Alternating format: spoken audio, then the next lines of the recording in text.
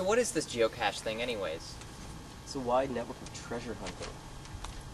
No, I'm just kidding, but it's something like that. It's it's like a thing on the internet where people hide these treasures all over the place and they leave clues to tell people where to go and they find the exact coordinates to find the hidden treasure.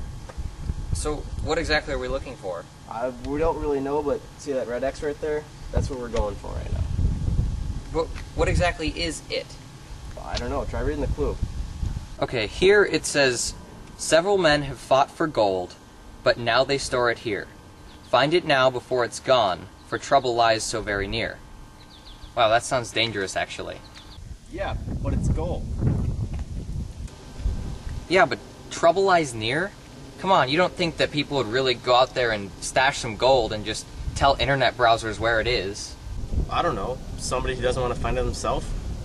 Okay, so what happens if we don't find this hidden gold thing? We just look stupid and go home? Well, you already look stupid, so there's no harm done, I guess.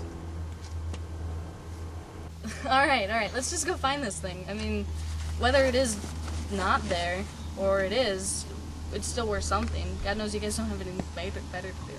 Oh, and you do? yeah, I have to stay here to make sure you guys stay out of trouble.